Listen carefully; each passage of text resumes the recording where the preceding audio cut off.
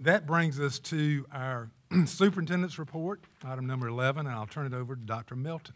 Uh, Thank you, Mr. Gant. Thank you, board members. Ms. Reese, I need to have Faith give us a few tips because she's a difficult act to follow. I'll see if I can be more faith-like.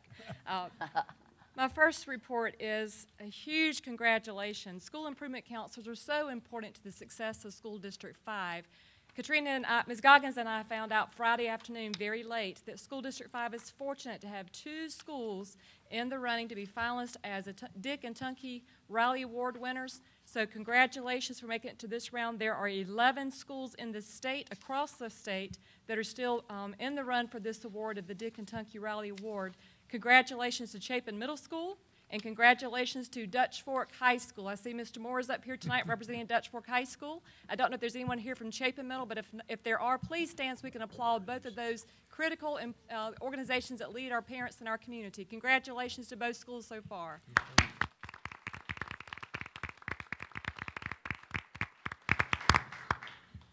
To be among 11, that prestigious award, that is quite celebratory. Thursday night, we held a magnet fair, the second of the year, the second and final magnet fair of the year, and I'm proud to announce we have broken yet another attendance record. So it seems every time we make a record, we break it the next time. So I celebrate the work of each of our magnet school teams to make sure that they are doing things that are celebrating their programs but attracting our community so that we can learn more. Mrs. Goggins and her team are working on um, bringing the survey results into us so we can review the surveys to make sure that we are reflective and also responsive to the results that we get back. But we know that we're going to have celebratory results, and we look forward to that.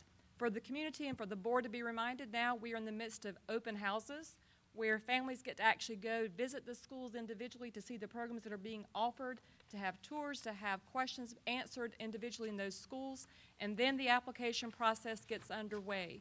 So anyone interested in participating with the choice process in School District 5, please be sure to visit our website, be sure to call our magnet office, and know those timeframes as the events that we have coming up, because we are on a very aggressive schedule at this time of the year, but we invite people to the open houses. We invite people to be informed, but if you have any questions, our magnet office stands ready to be in support. Mr. Gant, the third and final report that I have this evening is in regard to our facility study. Uh, Mr. Richardson and I had the opportunity on December the 20th to meet with representatives from MB Kahn, and we are preparing for them to come and actually give a presentation to the board of the complete study to this point.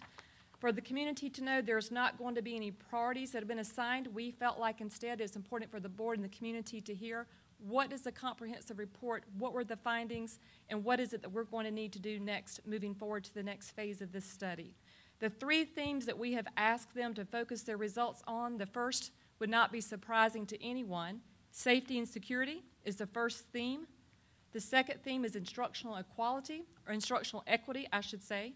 And the third will be facilities updates, but also inclusive of renovations. So those three themes, safety, security, instructional equity, facility updates, but also renovations will be the three themes that things will be categorized under.